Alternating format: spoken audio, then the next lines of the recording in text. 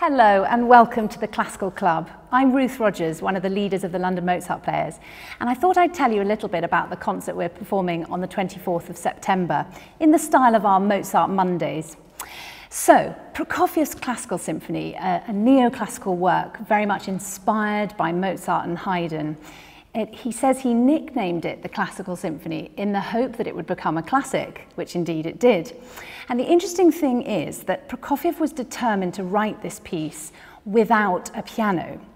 He felt that orchestration would be much more natural and imaginative without the help of a piano. He, he said the danger was that you would over, over orchestrate if you had a piano to work on. So he went and lived by himself with no piano while he wrote this work.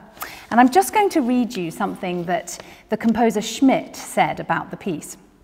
The classical symphony is an enchantment, a sort of unpublished Mozart.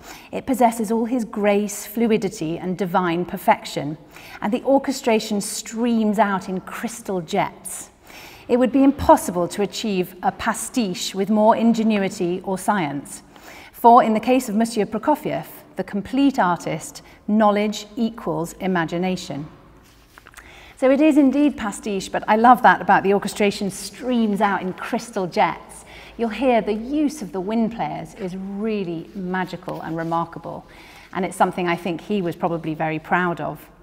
He started writing it in 1916, just two years after completing his studies at the St. Petersburg Conservatory.